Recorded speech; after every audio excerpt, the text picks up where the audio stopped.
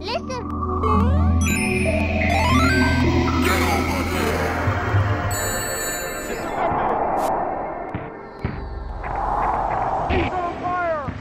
Finished it last You week. You finished it, including the DLC. Mm-hmm. All right. I am ready to hurt you. Well, with that and a hiccup, this is one upsmanship. Welcome back. Your dreams were your ticket out, and they expired, so you're stuck here with us.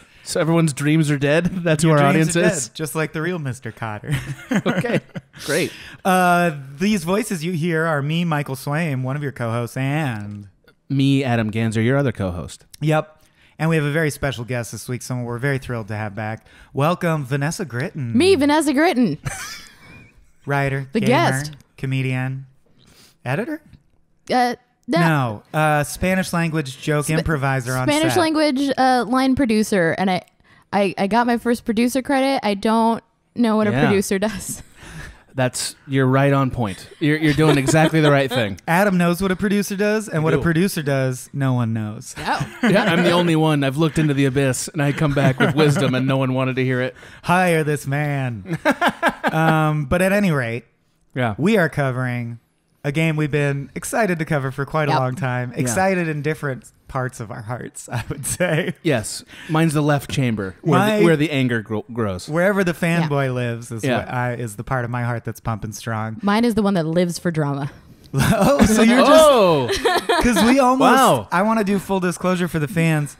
We're covering Fallout New Vegas. yeah, we are. and it's we've known so long that it's going to be contentious and i'm an oversensitive person and adam and i love each other very much Very but i think going into this we're mildly nervous we're like Yeah. we shouldn't have a guest because it's going to get thorny and then vanessa slyly convinced us to have her on and now Which you're saying really you're just chill. here to just- stir up shit I just, I just want to put kerosene on Right. what's She up. really does. Just a little, little spray bottle spritz of it, uh, of it in between.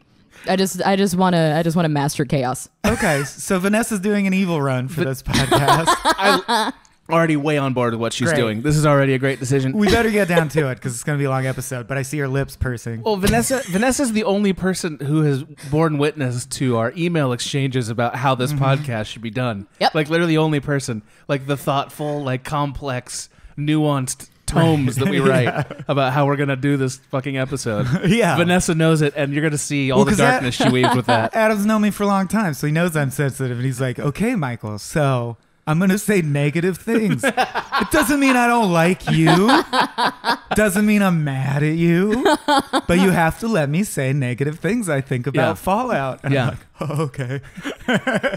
It's just like watching a, just watching a tango where one person is really, really not wanting to be led, and the other person's aggressively dipping you. Yeah, it's your classic Weinstein tango. Yeah.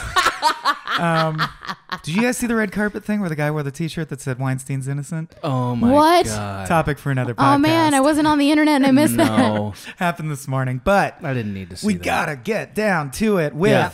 our first checkpoint, which is the speed run.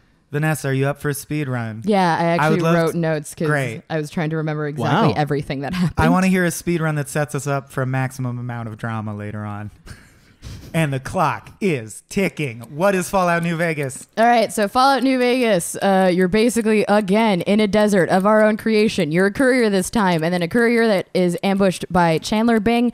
I don't remember the name of the guy that did it, but I know that it's Matthew Perry. Pretty Johnny. Uh, it's Pretty. Johnny. Pretty Johnny. Something. It's one of those cutesy, pulpy names, but we're just gonna call him Chandler Bing. You're ambushed by Chandler Bing, who wants a chip that you have.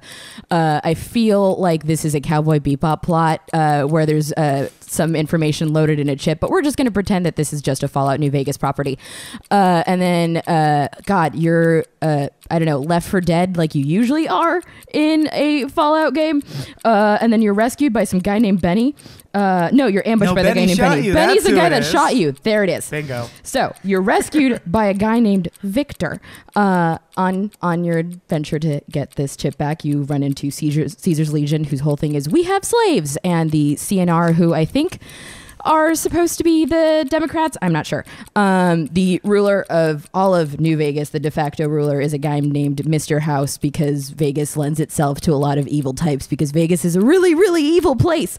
Uh, everybody wants the Hoover Dam because it's the last source of clean water and power. So you all eventually meet up for a fight for that, and that's where you find out the chip is data. Oh God, I'm trying to remember what else happens in this fucking game. You eventually meet a guy named Yes Man who I I believe gets you the best ending out of it. Uh, and uh, the biggest bummer about the entire thing is uh, eventually when you make your choices about this universe, you can't keep playing afterwards. So Okay, all sub and side quests. Go. Description. No, no, no. We're done. We're good. No, but we are going to get into that in some length here. I want to talk about the DLCs. Yes, before that's we're what done. we, we need to talk about the DLCs. Uh, but a speed run would not really be Agreed. a speed run if it Yeah. encompassed everything. Agreed. yeah, especially a game like Fallout where It's a the good high-level meat of it overview, right. is is is all of the other side quests that you get to go on, especially a game like Fallout Vegas. Absolutely. So that takes us to our next checkpoint and the rants portion. Uh, this is a touchy rants portion. Uh, who wants to go first? I think you should go first. Okay. Player one, begin rant. Uh, I will. I decided what to say for my rant this time, which I never do ahead wow. of time. Prep. I'm gonna rant by describing three other games that I've been obsessed with lately, and I realized they all have a similar theme, which is that Adam would fucking hate them. I have been playing Flame in the Flood, The Sunless Sea, and Impact Winter. Okay. And then I did without thinking about it. Those are the three games I've been marathoning in a row. And after I finished Sunless Sea, I was like, oh shit, I'm playing the same type of game over and over. This must be revealing about me. And I realized it bore on this episode. Mm. Because all three games are lackluster in their gameplay mechanics and balance, glaringly. Hmm. And all three games feature long, boring parts where you can't control anything and you're just waiting to see what happens next. And I love all three games. Don't care at all about how the games themselves are poorly built because I realize all three games feature incredibly rich, deep world building worlds. So I realized that that is either what appeals to me or from a different perspective, my blind spot is I will forgive almost anything if the world is truly interesting. And I think anyone who's played Fallout Vegas knows where I'm going with this. So I'll end the rant there and talk more about it later. Yeah. It's good. All right. Yeah. Is it my turn? Uh, I'm looking at you with Clint Eastwood glare. You really are. We're Yeah. all just Let's go it's, it's a around the Mexican horn. standoff. We'll go around the horn. Because Vanessa Yeah. promised drama, so I want her to interpret my thing in a way that makes Right. incendiary towards you. Maybe Yeah. we should have given more space so she could dance it out for us. You know, well, like what you said at the end is pretty much one of my biggest issues with gaming as well that I've started noticing after the first time we recorded together, which is I forgive a lot for an interesting story and I forgive a lot for a really really cool landscape. Like I have played some truly garbage games because I'm like, well, isn't this pretty? Uh, and what I will say is, while it has a really great first act, it kind of falls off after that. It's really strong at the beginning and it tends to be a little bit too linear towards the end. And while I do really love the characters in it, there's a lot of invisible walls in that really pretty landscape that I can't explore as much as I would like to. And I want something to come out the way I want it. I don't want a DLC to do that for me. So that's that's my that's my rant. All right. that's Player legit. three. That's legit. Okay, well, uh, I'm not going to be a prick about this. I, this was, I thought, the best of what Fallout is good at. No, no doubt. Like I I think, out of all the Fallout's I've played, which is now three, uh, this one has the best uh, conceptual execution on a lot of things. Um, it did show me that Fallout 4 was a better game than I gave it credit for, for this reason. Mechanically, Fallout 4 fixed a lot of things that this game does really poorly. More poorly. And poorly. it's still pretty clunky. And it's still pretty clunky. this game has things that are like, whoa, uh, fucking what? A few things like that. Um, I thought the environment was the worst environment for a Fallout game, and I'll get into why that is later. Um, I understand that we like Vegas. I know everyone already on the internet's blowing their mind. Nope, it's the worst one. It has the best characters. Um, The Kings alone make it my favorite Fallout. The Kings are incredible. Oh, they're the best fucking thing. It's the best, and it's exactly what makes Fallout good. Like that was like right on point. Although real missed opportunity to call him the Bings since he's a member. Uh, Could we be in more of a post-apocalypse?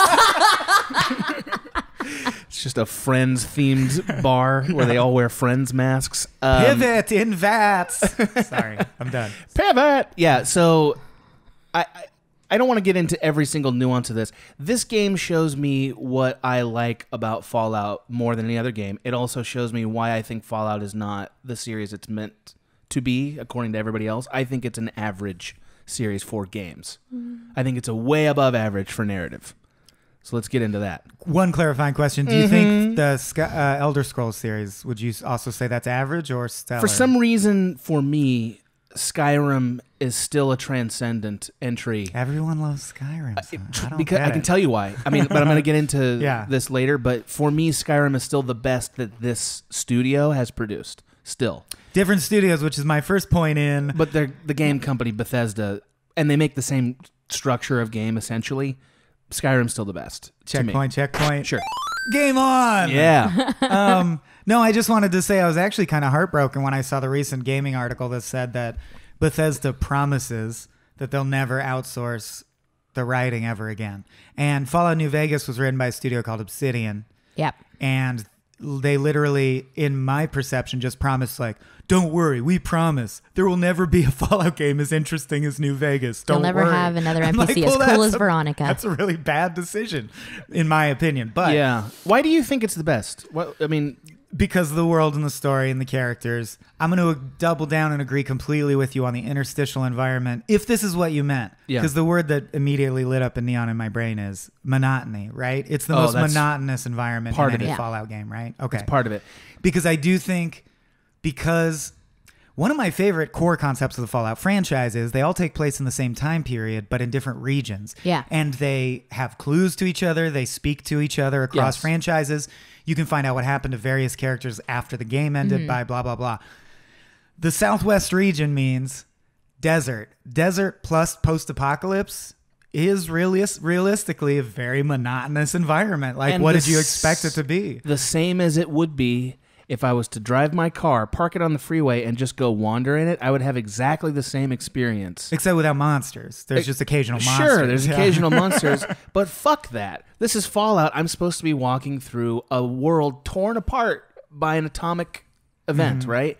And that doesn't really happen in this game until you get to Vegas. Vegas is unique and interesting, and it's the only time you get the Fallout thing that I think is essential to what ma- makes Fallout good. I think wandering through burned out buildings and a place that used to be a fully thriving civilization is essential to Fallout. Yeah. And this game doesn't have it. Yeah, of, well, that I It doesn't is the have first it. thing I'll push back on because I think what it has is way more filler in between those things. But if you count the number of locations and events, as is true with every game, it's more than there were in the one before it, but less than the one that came next. Like it's as I don't big think a it is map as- more than Fallout 3 in the sense. uh, uh, definitely, the map is bigger. I'm, let's just clarify terms. The map is bigger. There are more places to go and caves to explore. and I feel like things that makes get. you feel like further in nothing's between, though. happening. And I'll agree Yes. that that amounts to filler if you don't like scavenging, which I do because I find it very zen. Yeah, I'm a big like I collect a lot of herbs. Get, Yeah. Like when I get like if I play Skyrim, I have an inordinate amount of cabbages. Like Yeah. that's how I play. That's fair. I also like liked scavenging in this game more Mm-hmm. than I like. I, when I played this game, I was like, okay, I'm gonna remember what I said about Fallout 4 because I played it after that episode Mm-hmm. and uh, see if what I said was true. I actually do like scavenging more than I said I did in Fallout 4. That episode, I like it a little bit more. And yet it still feels like filler, like the world's too big and Well, boring. it is filler because Yeah. it is just walking from. Well, it's the what you fun do in thing- between things. Correct. Yeah. But but again, that is a huge percentage of the game, and what makes Fallout Three and Four better is that the filler gives you feelings that are Fallout based feelings because you're wandering this world like, oh my god, look at that building.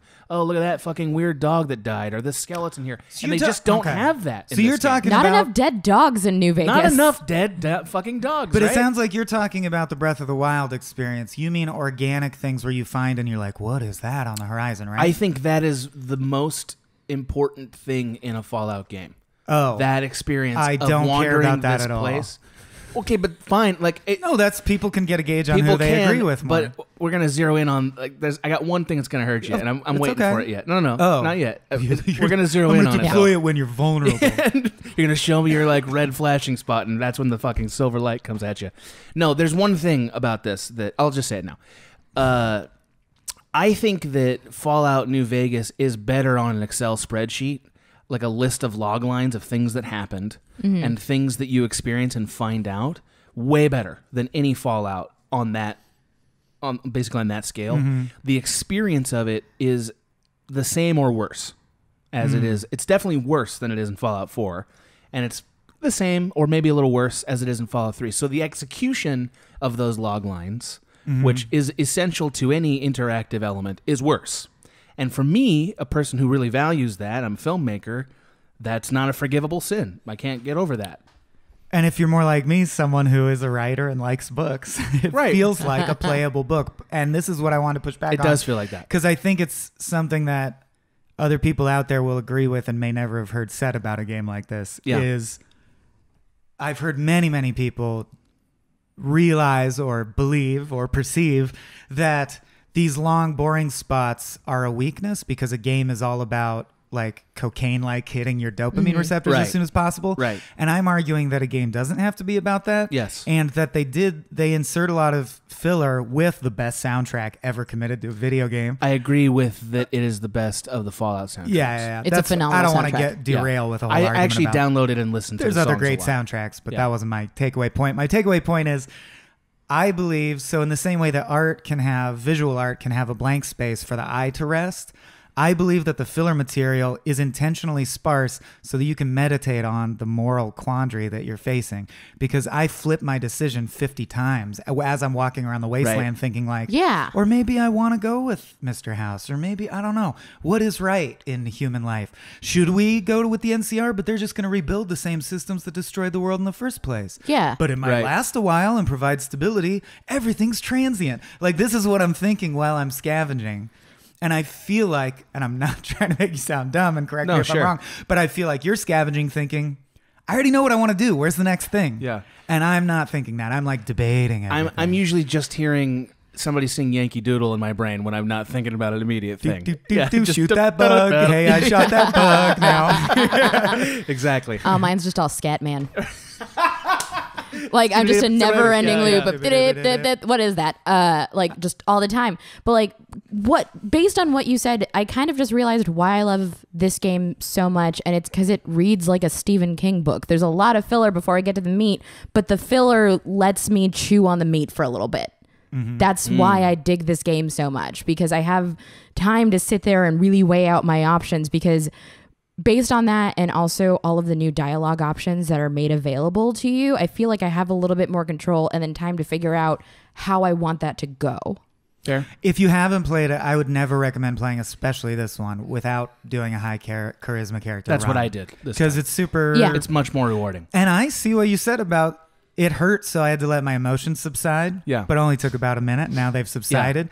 You're right about the spreadsheet thing. But like, I'm weirdly not bothered. Like, know, that's- I'm who okay you are. saying you're right. It's the best goddamn spreadsheet anyone ever No, fucking but, made. but this is but this is like this is what we're really doing excels. now is like we're talking about personality. None of us are right or wrong, but it helps people Yeah. know what the game is about. Well, Yeah. but also it tells you that fundamentally, like in our entertainment, we're looking for replications of who we are in it, and like Yeah. relation, like we relate to that. So, like what you just described, the painful, aching decision making. I don't make any decision like that anywhere in life. I know exactly what I want to do. and I oh, do even it. outside of game worlds? Okay. I make every decision like that. Oh no, I'm Hamletish. and that's not that's but that's not it's not because i'm better it's just that's how i know what my what i want to do my mind Yeah. knows and my heart knows what i want to do so i'm never i've never made a decision in fallout that i labored over never i've always known exactly what i wanted to do Even And- or do you grant that there are some where the writers are at least trying to make it a 100%. difficult gray area? 100%. Which I appreciate because like you Yeah. play uh, Knights of the Old Republic and it's like every choice is kill the orphan or save the orphan. Yeah. One Right. thing I liked about Fallout New Vegas is like, oh, I don't know. That is a classic prisoner's dilemma. I don't know. Yeah, because as someone that really loves Bioshock, it's not that hard between do I kill the child or do I save the child? No, Not a hard easy. choice. yeah but that's even easy. those decisions you found easy, gray area decisions. um i like my experience of them is i i realize they're gray and like i'll be like oh man it's tough i'm gonna have to do this but this is gonna be tough i acknowledge that moment and then i do it I see. I don't Yeah. I don't need to wander around the clay earth and figure out what I want to do. And that's just not who I am in general. Mm-hmm. That's fine. You know, like I, that that tells me something because I don't think the way I do things is normal. I think most people are more in your camp than mine. Mm-hmm. Like most But I people admire deliberate. that. Like now I have an aching desire to ask you, should I give up on Hollywood or not? No. Because I'm constantly laboring No. over. No? All right, done deal. I'm No, around. I'm around. not going to give up, and I have way better reasons than you do. you know what I mean? So, like, no. well, that's answer to that. arguable. But and I'm just driven by spite, argument. so I can't. Yeah, That's fuck part of it. them. I have to become bigger than them and Yeah. crush them. I'm just I'm just driven by a sense of just oh man, you said I couldn't and now I'm going to sleep for 13 hours, wake up and then grind it for another 20 cuz I hate you. I mean, I'm. uh, I mean, this is a detour, but like for me, if I wasn't 200 grand in debt and 10 years of time sunk into this career, I would quit. Yeah. But I am. I'm So not. I'm going. that's to. why I might. I'm- I don't I'm have gonna- any student debt. And That's that's, also how I play Fallout. It's the sunken fallacy. I know, but you know what though? Like, I know it's a fallacy, and I'm sure one asshole will tweet me about it, and I will remember their name and destroy them later. Yeah. Wait, what's a fallacy? The sunken cost fallacy, Yeah. right? Oh, it's how I play. Fallout Yes. and also do a lot of things. Yeah, I do that with major life decisions, but I also believe that that I I don't really let the sunken cost thing m- matter as much. But as Vanessa, you'll be like, "Oh, I already did three steps towards helping this faction. I better Yeah. help Right. them now." Yeah, where I'm like, oh Even after they man, turn I've been on this mission for an hour and I hate it and I hate these people, but I already put so much time into it, so I got to see it through. That's true. I do. I do do that. I, I like. I got into the NCR on this one, uh-huh. and I NCR is probably the blandest choice. Mm-hmm. It's more of the same, but also like I don't believe in any of these maniacs. The NCR is the only relatable faction to me that's like I kind of want people to be okay. The NCR You is know? just saying, "Let's try to restore the civilization Try it as it again. was." Yeah. And I think the only fungible argument against that, which is compelling, is, but that series of systems led to the apocalypse in Sure. the first place. So is there Yeah. a better way? But of course, you're right. Though when you're like, "Well, is the better way brutal slave-based economy?" Most people would go like, "I bet that's not the right Yeah. answer." Um, and which is why, from our perspective, we know that that Caesar's Legion is an evil run if you support them. It's not only that. I mean, I just think that's not an appealing view unless it, it's only appealing as a faction because it's in a ridiculous video game. It's It- not in any way philosophical. it appeals appealing. to brutal logic that in the apocalypse you have to revert revert to survival of the fittest. It appeals Yeah, to like the Klingon logic center of my then brain. why why wear fucking old Roman armor and have spears and bullshit like that? Like, and I understand like Because the Roman Empire, the Roman Empire was the most stable, successful human enterprise of all time, and they're trying to bring that back, right? But you know, even though it was brutal. That's their but like just one step of extrapolation tells you Don't y- wear armor. Get guns and wear normal shit. they have guns. Caesar's legions carries They guns. steal them from the people they killed with spears. Yep. I read the lore on this shit 'cause Okay, I was like, "Why the true. fuck is this happening?" Um, I just think that's like dumb. Like I, I think it's cool, but it's also dumb because like that's not what people would do. Well, especially when you go to wouldn't that. Zion and the DLC and the White Leg signature weapon is a Tommy gun, and you're like, I want to see the Caesar's Right. Legion try to take over this place. They use spears. There's no chance of it. I've Like, seen enough people now in 2018 riding a penny farthing bicycle to where it's not that far that somebody would want to wear armor. Oh, I believe this. I believe there. Are so you people, think they use spears because they're post-apocalyptic hipsters and Yes. it's cooler? Yes, I agree that I agree that people will do dumb things because it's cool or because they feel powerful. We're seeing that all over the place right now, and I think Fallout does a good job of capturing that in a, a lot of the other factions, like that White Mask Society. yeah, um, whatever the they're. can- turns out to be a cannibal. Yeah, crew. that's but that to me is like The exactly, White Glove Society. Yeah, that's exactly parroting that Yeah. idea. You know, or even the Kings.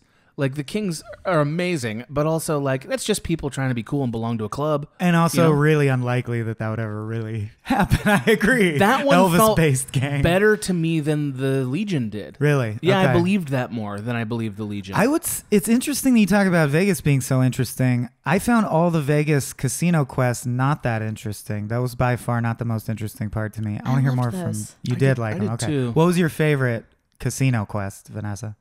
Oh my god, I'm trying to remember because it's been a minute since I played it, and a lot of the times whenever I do anything casino based, I'd mostly just get stuck at the poker tables. Uh huh. There was Gomorrah, which love is run by just a gang of raiders who just act like raiders, and I think you just have to like save a a rancher's son from them. Yeah, There's the White Glove Society where you find out they're eating people. That White your Glove was one of my favorites because The I love Kings. anything that I love the Kings. The Kings are you. They're not The in Kings- Vegas. They're ki- outside. but they're not in Vegas. The White Glove wins it for Hmm. me because I like anything that ends with "we eat people." Uh, Sure, I just Why not? I don't know why I find it to be the funniest story Oh, trope. it's funny right. to you. It's real dumb. oh, it is we're not- real dumb. 'Cause I'm, it's I'm basic- funny to you. I'm a cannibal to you.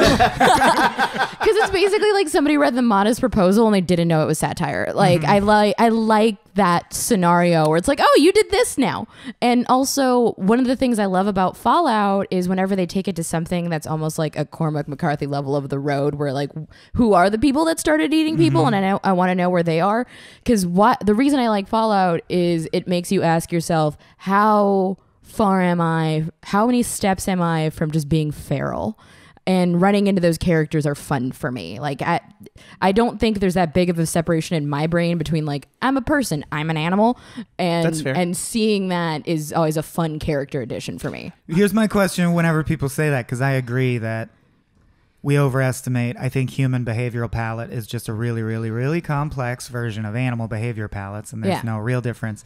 But I always wonder does that make you feel like animals deserve more care and respect and have souls? Or does it make you feel like humans are just animals? like, not, you know what I mean? I feel like it I know takes which me way to you go. I want to know which way she goes. I feel like it just takes me to humans are just animals because of the amount of time. I try to take the optimistic view that animals deserve more respect than we give them. like uh, it's it's honestly like one of those like why not both situations because like animals deserve more respect because of how close I am to one. Like if I can't get into a door, it takes four seconds for me being like, can I jimmy to this lock to when I I could just hit it. I could just hit it until it's open. And Wait, it- in Fallout or Life? life. Oh, I did that yesterday, uh, which I was is like, why you I'm can't thinking. bash oh, you in kicked in a door yesterday? I tried to. How I was it? How'd it tried. go? re- it didn't work. They had to sh- call a locksmith. Oh, Uh, man, I wish I could have seen that. but, I really would have enjoyed that. I really like threw myself against it like a fly, Committed. just trying to get out of a window. And I started thinking about how I'm like, as soon as it was over, I was like, what can I root around in the community garden to eat because I'm starving and I can't get into my apartment. an And I was like, oh wow, it takes an hour Yeah. for me to become an animal. Just one hour That's of just good. not being able to get into shelter before I'm like root around a garden. And you're like sniffing the wind, like I smell meat from westerly direction. but again, like the premise of this question, you've you've you've subtracted from that moment. You've subtracted all context or understanding of what made you do any of those things, and just like looked at it as though you didn't understand what that being was doing, Right. and called it the same. Well, thing. presumably And it you're isn't. still having human thoughts in your head while this is going on. Well, that's Whereas but an that's- animal would be thinking, door shut, go left, food, hunger. Like, if it's they different. think, if, they, think, Right. Like that's the thing is like any question uh, of the likeness between animals and humans. It's like until we know what consciousness is, until we know what it is, you can't call them the same thing. And I think just this can't. does bear on Fallout. Yeah, it does. Because this is the exact kind of unanswerable philosophical question that this show Yep. believes that video games can hold the key to and why they're an interesting mm-hmm. media. Yeah. And that fascinates me endlessly. And so I want to ask Adam, are you the Yeah. type of guy who because I agree, if we ever discover an answer to what is consciousness, it's thousands of years in the future, millions, and maybe it's not a thing that can be discovered. Maybe Yeah. it's unknowable. And I believe the universe is filled with things that are unknowable by their Sure. nature. If you come to the conclusion that you're not going to know something philosophical, is it ready to move on? Or do you like turning it over in your mind eternally? Uh, it. I mean, unknowable. It depends on how significant the answer to that question is To the Like, universe or to your life? To my life, Okay. but also a little bit to the to to. So, like, I mean, the the best version of that question is: Are there souls? Is there a god? Right. Like those kinds of questions. Yeah, you got to turn them over. Because Do you at think least I do. animals have souls? No, Okay. not in the sense that you mean it. Like maybe in the sense that Aristotle meant it. Well, I mean, in the sense that You know you, mean it because you're a Christian. So Sure. I mean, does God did God imbue them with life, and does He care about them in the way He cares? Are they alive? humans? Is that what you're asking me? Well, is there does being 'cause I- does being alive mean that you have a soul inside you, or no? Not necessarily. Uh, Does it I'm produce not a ready shadow or have a to- reflection? I'm not ready to give everything souls. and does the Like I don't think plants have souls. is the traditional Christian ethos that God gave souls to humans only, and they're special? I think that like Aquinas or somebody like that would have said would have fused Aristotle's views onto it and said everything has a soul in the abstract sense that it has a nature, but not that it's Plato's sense of it where like there's a separate eternal entity that imbibes each creature. That's what I mean. I like, don't have the answer to that because I really don't know. God the made have that. Uh, yeah. made us of themselves. I want do some Christians and hey, Christians and Catholics and Jews and Muslims out there. I'd love your answers too. Yeah. Do you believe that God deemed to imbue animals with that same kind of special energy, whatever the soul is? Does God care about them in the same way, or are we different? Are we special? I'm a pretty nihilistic Jew, so I just go with like, God, nothing has a soul. Okay. Oh, really? All right. Even in from the Torah? Do you know? You probably don't believe in Torah. Uh, no, I mean like I I I definitely read and I feel like the Torah is ripe for a lot of a lot of doubt and a lot of like Judaism as a religion is question everything. Yep. Uh, like that's probably my favorite thing about high holiday dinners is that you are encouraged to debate and try and figure out these questions. Yeah. And my conclusion, and this is somebody that was like raised Catholic and then went to Judaism. Oh, that's interesting. Was just like eh, nothing has a soul. There's no. It doesn't. It doesn't go anywhere towards. Ap- uh, it doesn't go anywhere after. There's no like dumpage for it. So just nothing. What's the name of the nothing place for Jewish souls? Shoah. Uh, oh, uh, I'm gonna it's, get in uh, so much trouble. It's not No, Shoah. it's, uh, it's, it's not Shoah. It's in the Uh, Psalms all the time.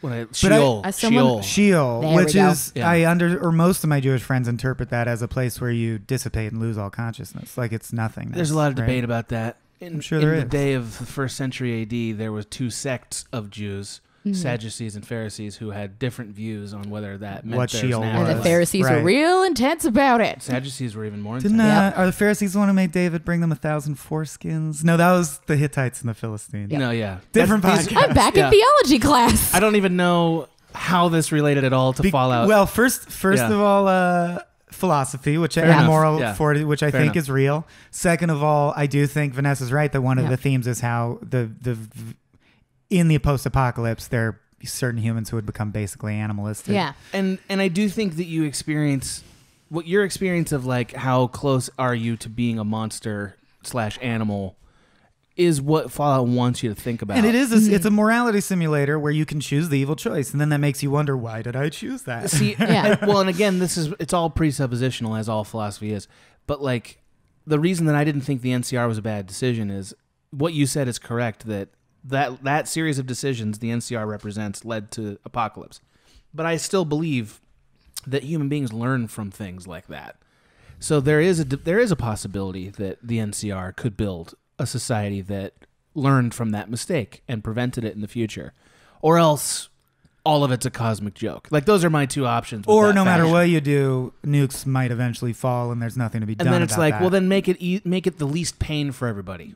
Right, th- and you're like, so point. slavery's a no go, right? Like, let's, yes, let's look at the a least. no go. That's not Well, a thing I like. Yeah. Don't quote me out of context. Quote Michael Swain: "Slavery is a no go." My stance is very clear on this.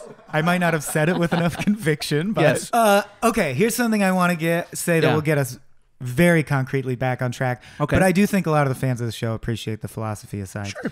and uh, I also want to get it out of the way. Ooh. We have to say it though.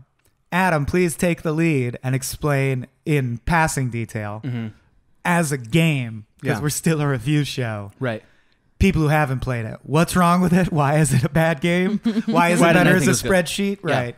So uh, the best example of it is I think how the main story unfolds, right? So once you like most of this game, you're trying to find out who shot you in the head, removing all your memories, and what you were trying to deliver in the in in literally the set, setup of this game. You were trying to deliver some chip, and you're like, "What was that chip? Nobody knows. Why was I shot? Why was it taken from me? I don't know." And you're going through a series of uh, interviews slash events to find the answer to that question. Well, once you meet Mr. House, right, who is sort of the only surprising incident in this game. Mr. House is like, "Oh, oh, this is a really crazy direction we're going in." I think the existence of Yes Man is mildly surprising, but then Mr. House is the big Act Yes. Three twist. You're Yes, right, although yeah. you're directed right to Yes Man, so Yeah. it, it's not that surprising. I guess it's not a twist in so much as I appreciate any clever sci-fi concepts that are embedded. Yes. And the idea that someone programmed a robot to always do what they say, but they forgot to make it specific to them is a really funny, clever sci-fi concept. I agree. I think everything in Fallout New Vegas is exactly what you just said. It's like, I think oh, it's a that's a cool really good sci-fi concept. Yeah. But the experience of it is like, okay, so this is how this thing works. Yep. Like that's how I experienced it. I walked down this hallway, I found Mr. Yes Man, and I learned his thing.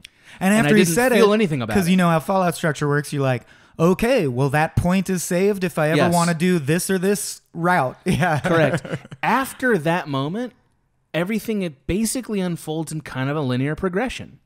And you sort of every single decision that you make about do I warn this faction, do I not warn this faction, is sort of I want to call it fated a little bit Once- by by one- your proclivity at that moment. Once you've decided That's your the faction, problem. then you're set. That's the problem with this game is that you, the factions don't your your comprehension of what you're doing doesn't change.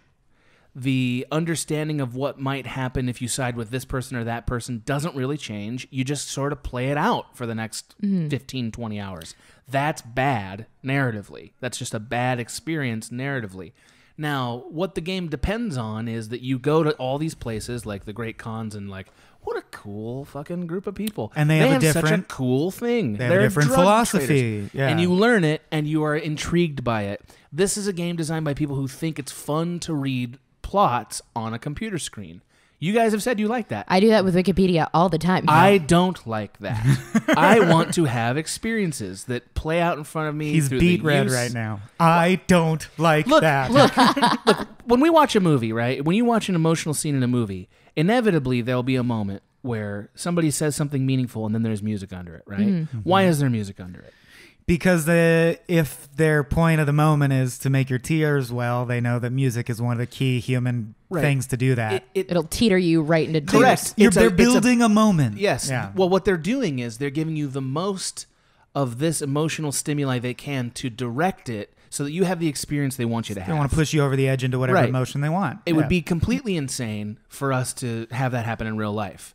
But movies and all entertainment are about focusing so you only have the certain emotions they want you to have. Yeah. This game decided we don't care about that.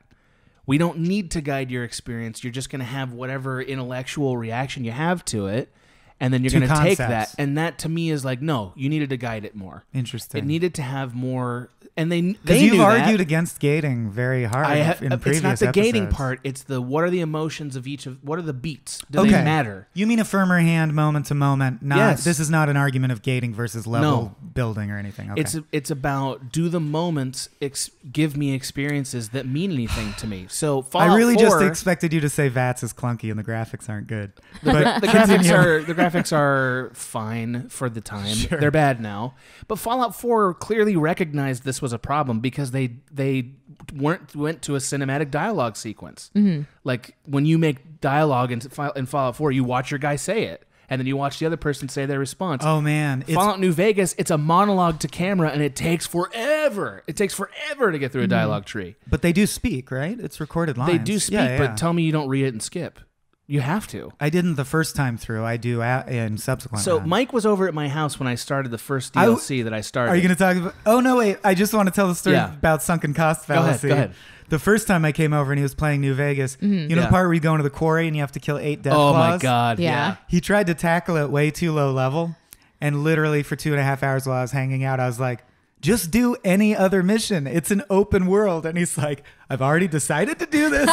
I have to do this." You know what? Killed the entire visit just trying to kill eight death claws. Never did it. They're all no, they're dead. See, okay, but all the- those fuckers are the dead time now. That makes there, sense to me though, because Yeah. I will fall into that trap. yeah. I've done that. That's how I played all of Borderlands. Like Mm. I did everything being too low level Yeah. for everything I was in, and instead of it, like I could just go and complete other missions and level quests. up, but I just wouldn't do that. No, because you already did this much, and I don't want to do it again. I already did that much. And then I ended up doing more than if I just did side quests where I would just create another character, leave it there. So if I died, I didn't end up somewhere further and I could just spawn in that area. Right. That's more work. Correct. I just didn't want to walk away. It's also about managing something that's as unwieldy as as your to-do list is in all these Bethesda games because like for me I love seeing a to-do list with 90 things I on do it. too in this game because I know how to manage that. Uh-huh. I'm like, I'm going to see all this thread through, then I'm going to do this thread, then I'm going to do this thread. It's how I direct things too.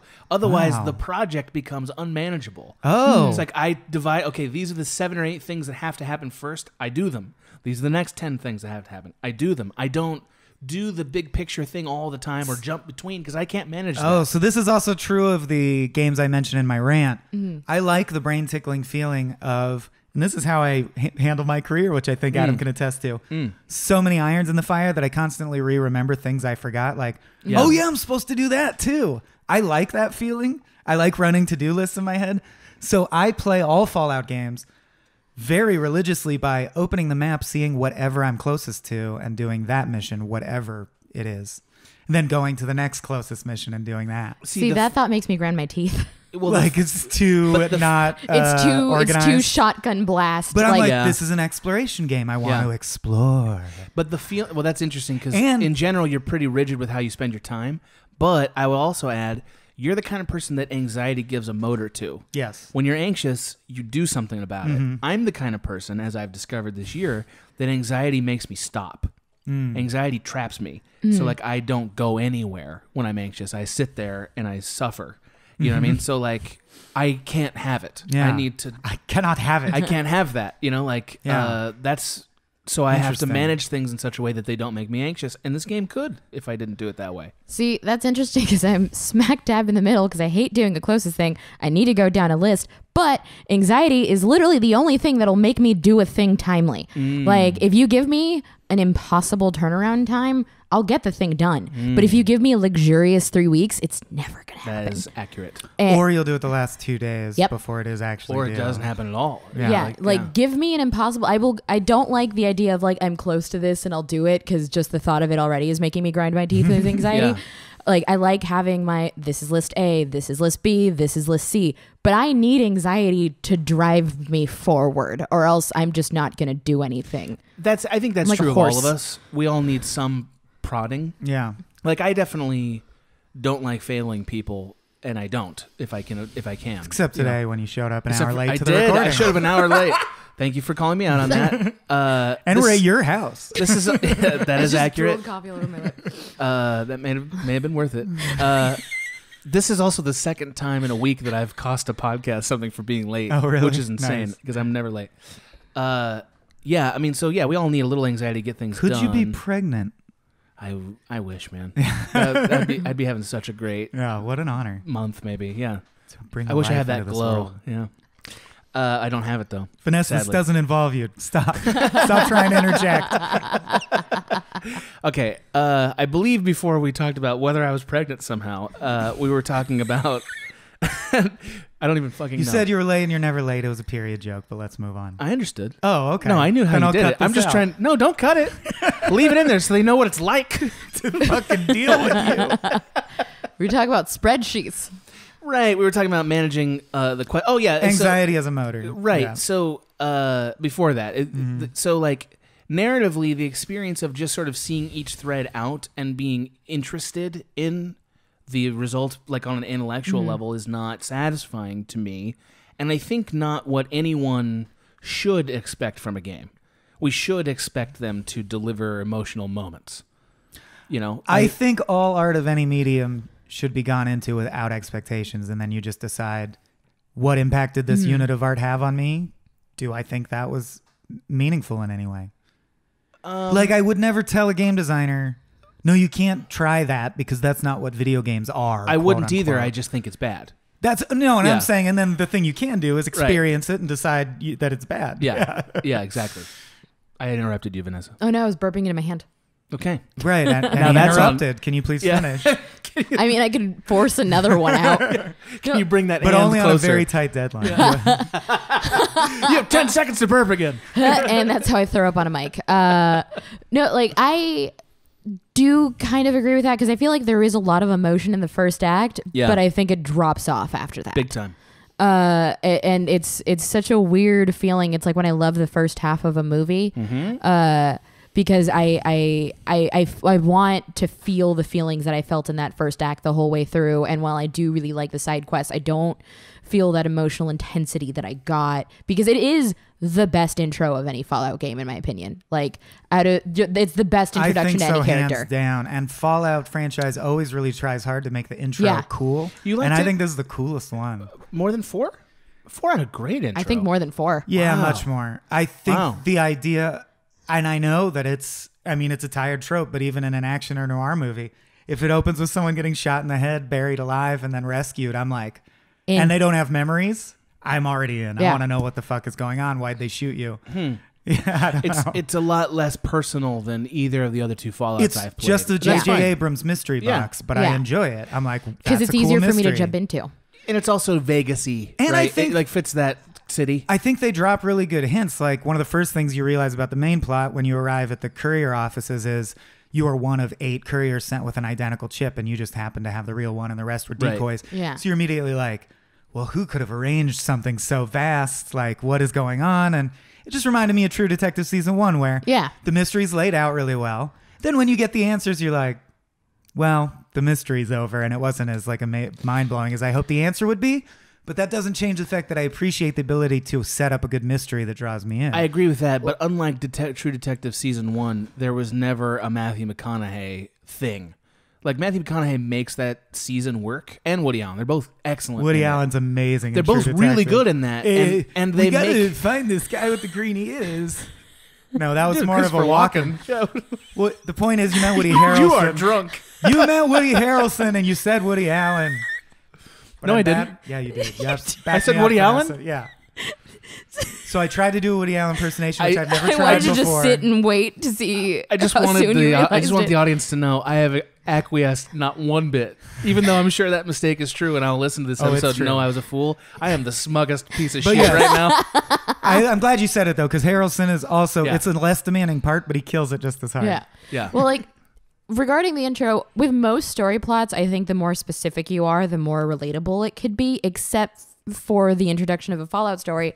Because I feel like since this is supposed to be you and you're supposed to immerse yourself in it, when they don't give you a hyper specific story and they just leave you with questions, it's easier to put yourself in that role. Mm-hmm. Agreed. When they give me a kid, and when they give me a partner, when they give me like a house I don't really give a shit about, it's it's me playing as someone else. Yes. But if it's just a job and then something happens to me and there's questions, it's easier for me to put myself in the shoes of the character. And I also think it's artistically like harmonious because if you're gonna always call your main character the survivor, The guardian. the vault dweller, The cour- the the courier. courier, Yeah. the Yeah. chosen one, Right. then it's like you are saying this isn't every person that you're supposed to Yeah. inject yourself into. So follow through on that. And I think New Vegas did follow through on that in a way that is a little hacky, which is you have no memories, so you could be anyone. I was okay with But that. it's good. It's as I- good a reason. It as works. any. There's a reason Yeah. it's a usable trope. Because Right. it's a I I good didn't mind one. it. I, I didn't mind. There was nothing about the setup for this that I thought was bad.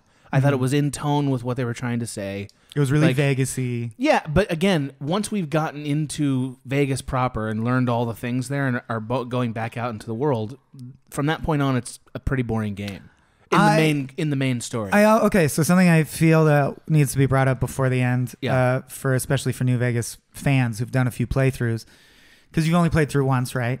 And I Sure. and you seem pretty object oriented, so I'm wondering how many Easter eggs you found because New Some. Vegas also has the most Easter eggs per Yes. square inch of any Fallout game. I, I have like And that's maybe really fun six part. super crazy weapons and pieces of armor. Okay, Which yeah, tells- like the so- sneaking suit. Yeah. There's the gold sniper Yeah. rifle. You can Yeah. find the crashed UFO. I have the, the I Q love the thirty crashed five UFO. thing, the Yeah. the Tesla beam. My, of course, Uh, the ultimate is the sun gun. Do you have yeah. the sun gun? I don't Do you know what I'm talking about? know. I don't See, have so a this sun gun. I also love a game that you can play this many times, and there's something that you did. Yeah.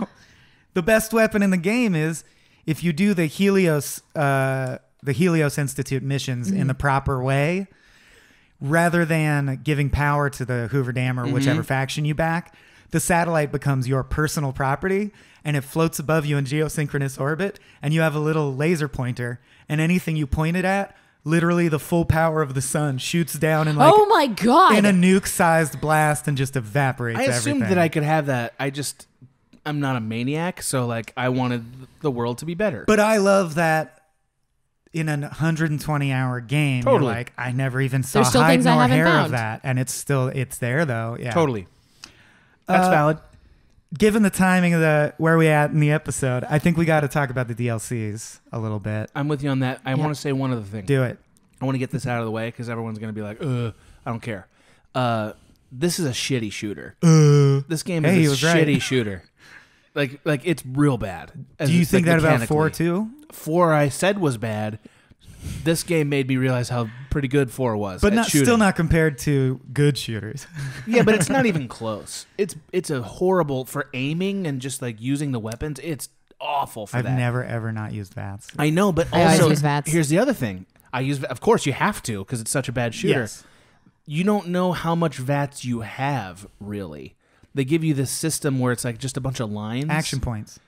I know, but you don't know what they mean. Whereas in Fall, they fixed this in Fallout 4, where like you knew how much of the action points each weapon blast used, Wait, wait, wait. so you knew how many shots you had. no, in New Vegas, when you're highlighting but what you you're don't going to do in at VATS, it and know. You don't look at it. Yes, you get it. do.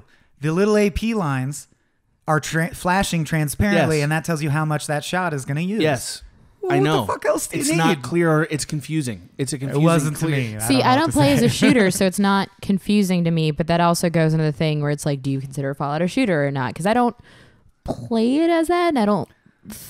I mean, I personally don't consider it to be a But shooter. you have to shoot to get out of and I, situations. and I agree with Adam that if it has the option that it like invites you to play as a shooter because you can play in real time as Mm-hmm. A shooter, Yeah. then it's fair to say that component was executed very poorly. But Yeah. you, but like, so okay, for at least fifty hours in this game, if you're playing it all the way through, you have to use. You can't use VATS for everything. You use VATS, you run out, then a scorpion's on your ass, and you got to use your gun, right? Yeah. That No. means I also never run out of VATS. That's what Nuka Cola's for. to get more VATS. Nuka Cola is like a health potion in Skyrim. It, it Right. ups your VATS, and you find them fucking everywhere. And I, I, never I run save out a of, lot of those sodas. I never You ran save out, 'em? out Save of, those sodas up, yeah. never run out of AP because hmm. I just drink Nuka Colas mid yeah, battle. just to hammer them down. Great thing about the Fallout universe is apparently anyone can ingest any amount of solid or liquid food instantly. That Like, that is a great thing. I, you're like, hold on, hold on, Scorpion. I got to eat six chickens, take some steroids, and chug whiskey. Okay, let's go. I'm just gonna I'm just gonna put it because we're gonna this is gonna be quibbling because Yeah. to me it's like no just make it so that I can use the fucking system don't make me like use coke you know like fine fine we can disagree on that I still think that for the most part you're having to shoot and it should be, be- it has to be better and they made it a little bit better in Fallout the 4. melee system's pretty good. It is pretty good. I Yeah. agree. Uh, in addition, the health restoring system is pretty clunky in Fallout New Vegas. By which I mean, I don't know how much health I'm really getting. Like visually, I don't get it. Whereas in Fallout 4, they showed you exactly how much you're going to get from a thing in a meter way. So you're like, okay, I'm going to drink this Nuka Cola. It's going to restore to here if I don't take a if I don't take damage, right? I feel like you're like looking on the wrong Pip Boy screen. I'm not. If I'm you go to the Pip Boy status screen where it has the outline of your guy, there is a gauge. I and know. when you highlight the stim pack, it shows you exactly how much health But it's you going don't- to this This is like listening to a tech support call. I know, but but but you don't do that necessarily in real time, right? Like like if you're like healing in the middle of a battle or whatever, like you don't do that stuff in real time. Like they fixed in Fallout 4, they fixed this stuff so that it, things were just more intuitive and you could like see it and understand I it just, better. I think by saying fixed, you're assuming that the goal is to make everything possible to do in real time, and it it just needs n- to nev- be more of that. never even. A, I would hate it if they pushed it more that way. Like it never even occurred to me that this game should be played in real time. It's an RPG. Well, I would say they decided in four that it is not as much an RPG Ah, which as is you why think. I it is. like New and Vegas that, and that makes Yeah. sense. I don't like RPGs as much as you do. Yeah. New Vegas is clearly more of an RPG. I, And then that four is leaning more towards like, look, Skyrim was our biggest hit. Right. Let's make the shooting smoother, like it was in Skyrim. Yeah. But again, like I like the immersion. I like to be immersed in a real time experience in a first person game. Mm-hmm. Generally, not always, but generally. And this game found reasons to break that all the time, and I don't like that. That's something I noticed a lot with people that played four first and then went to New Vegas because I I like an RPG setting, which is why I liked it. But I noticed Right. people that are very shooter heavy or they played four, they would usually ask.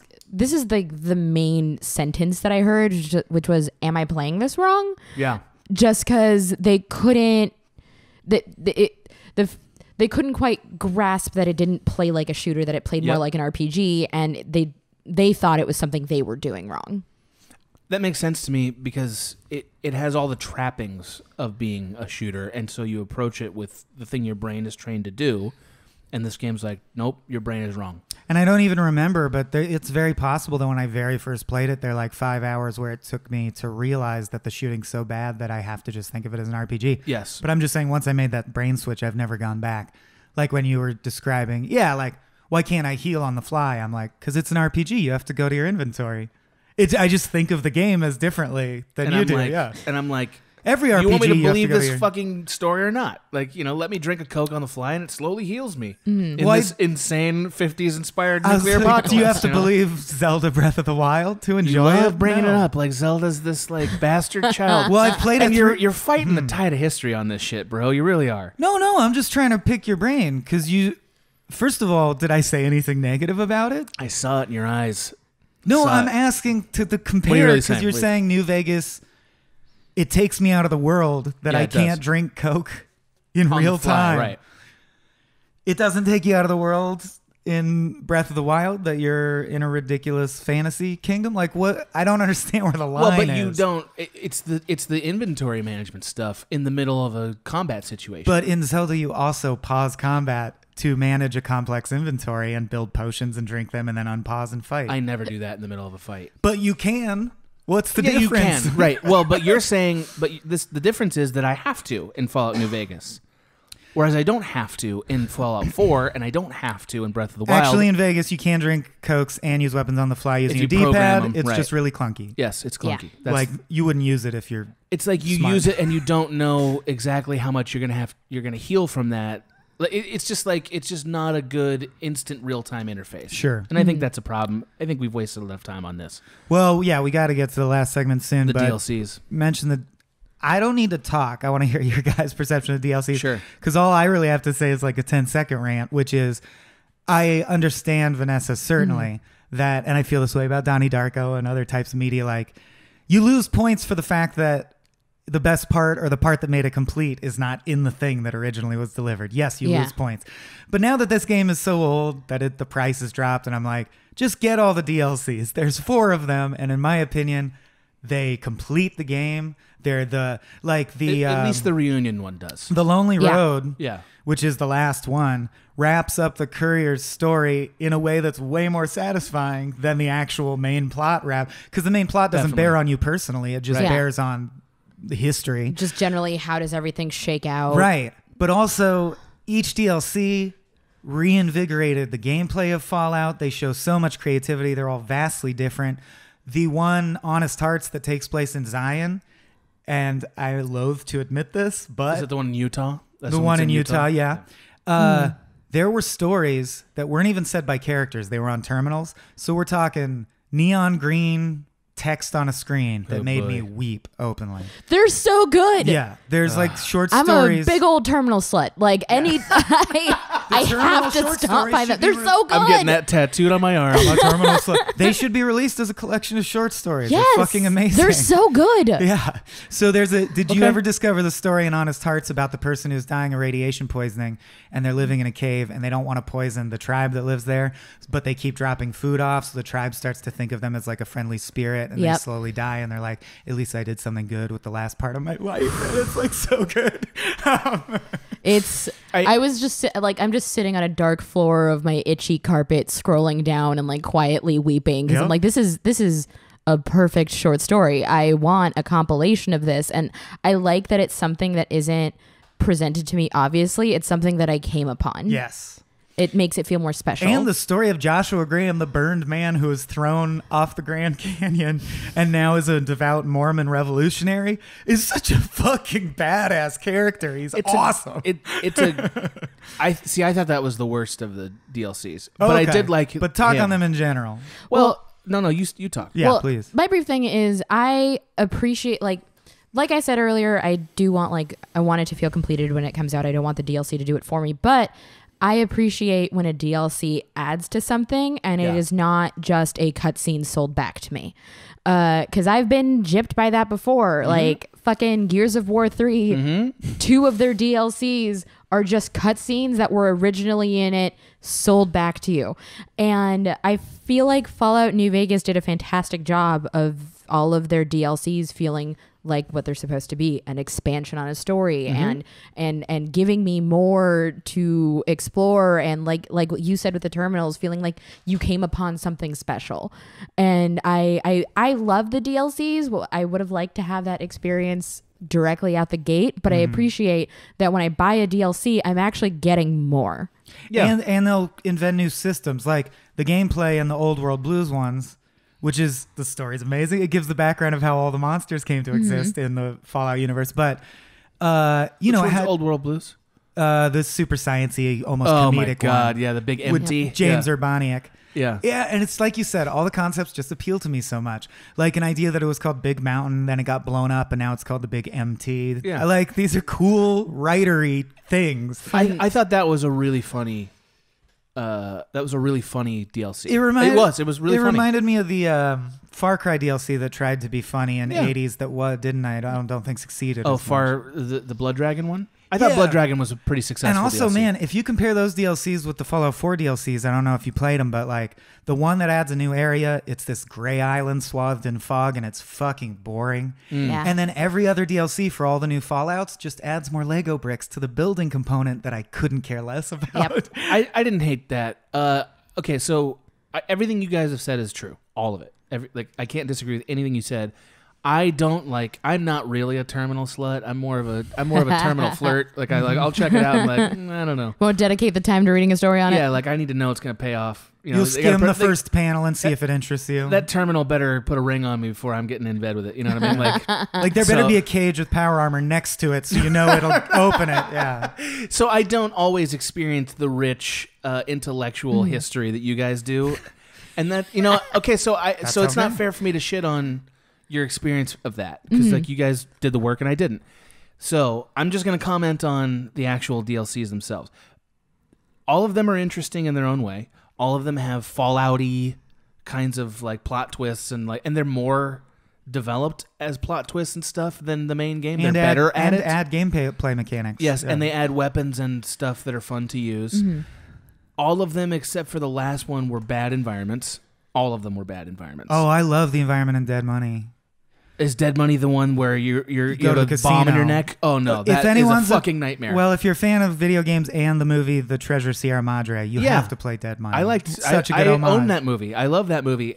And It the dog so god character is one of the best Fallout characters. Fair enough. I'm not going to take that away from you either. I'm not going to take like I thought the silent woman who later talks was amazing, uh, but the the experience of that world was horrible for me. It's very frustrating. It's so fr- don't make me frustrated, and it looks like dog shit, and you can't see anything. Like you're mad at this gray world they added on Fallout 4. That place is the Garden of Eden compared to. But have you been to that island, the Fallout Of 4 course, island? I have. Oh, I just found it so. it is. rote. It's drab. It, It was is. not a good addition. So to the is story. this. Dead Money was real bad. No, but I'm saying on a spreadsheet level, Dead Money had cool story things Sure. like you would grant. And the, mm-hmm. I know this isn't the Fallout 4 episode, but that DLC was fucking boring. It was like the plot concepts were goddamn boring and rote. it was too clunky for how little it had to offer me Yeah. that's and that's all fair. Dead Money is garbage from a from a like a gameplay Sure, sure. environment experience, not narratively. And you didn't good. like Honest Hearts. which one was Honest Hearts? Honest Hearts is Zion. Obviously not memorable. It memorable. was just really to short. ya. It was really short, and like getting around in it was kind of frustrating because everything was on these weird tiers and levels. But So you're that like, DLC let me get somewhere. I think that makes sense. That DLC had the most terminal text of any Fallout Yeah. component. And I'm- so I'm you sure I didn't- you missed skipped it. a lot of the content. I'm sure yeah. I'm. Well, I was racing to get to this podcast. as Part of it.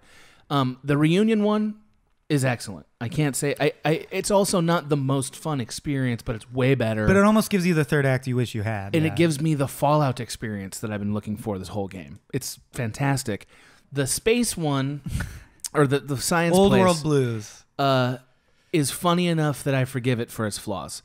One of which being that you have to listen to 30 fucking minutes of like dialogue trees before you can leave the first area. Yep. And it's like, no, dude. But That- it's Dr. that's- Venture talking, so it's I don't okay. give a fuck.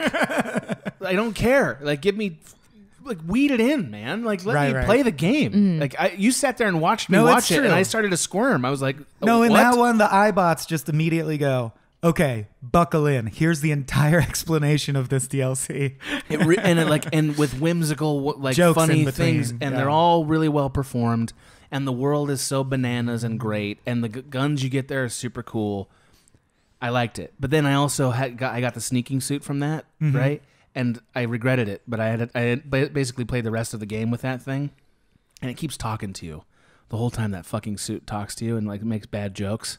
Which I liked at first, and then after a while, I was like, "You shut up, suit! You fucking suit! I hate you so Oh, I love that shit. I love that shit. Love the talkings. On like the third basement level of the Hoover Dam, you can get a sneaking suit with the same stats that doesn't talk. That's what I needed because I got real tired. that, that's that suit was uh, really grating on me after a while. Yeah. All right, Vanessa, any DLC observations before we get to our final verdicts? uh, no, I think I, I, I think I said my DLC piece. All right. If you would be so kind as to hit that checkpoint, Hit it. she did it. I touched it. We move into the segment I always forget the name of Keep or Delete. How do you always forget it? Because I, I remember everything with acronyms, so I always think it's something KOD. Yeah. But J. Cole just released an amazing album I'm obsessed with. Yeah. The that's called KOD. Mm. Uh, so that has replaced that neuron in That's my brain, and I don't remember it I'd name anymore. it POD, but then you'd be distracted by Piece that of band. delete. Yeah. uh, payable upon, on death. Is that what that stood for? Is that what they? Is that what the name of the I band was? believe they were a Christian band. I Yeah, believe they're a. Christian and band. it meant payable on death, meaning you know everything you do Right. in life is Yeah. Right, right.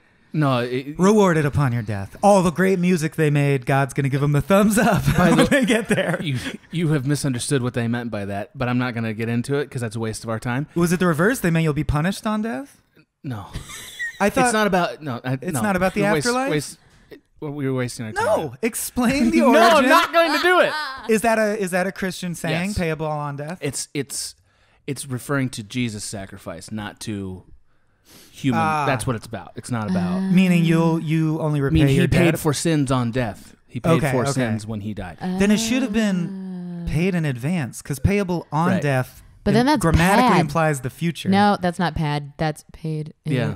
Pia. and then we wouldn't Take even it have that full. song. This, by the way, is the Piff. second time we've Uh-huh. made content about POD. I Because we did that fucking Cody Nope. video. That's yes, we puddle did. of mud. Puddle of Mudd. No, but POD was in it.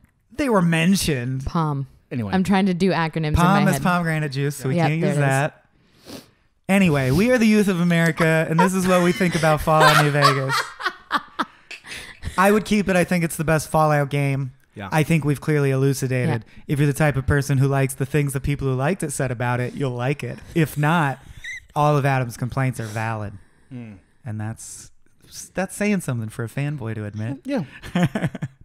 Uh, I'm gonna keep it because even though I wish I could keep playing it after I finished it, it doesn't mean I'm not gonna go through and play it again. And I want to see what my different scenarios look like because that's the fact that I still haven't found all of the Easter eggs there is to find makes me want to go back. So keep it. I, I feel like I have to keep it. Uh, I know Whoa. Because there isn't. I thought you would keep three, personally. No, this is a little better. Cool. Uh, narratively, it's a little better. Yeah. I don't think Fallout is good enough as a gameplay experience to be on the hard drive.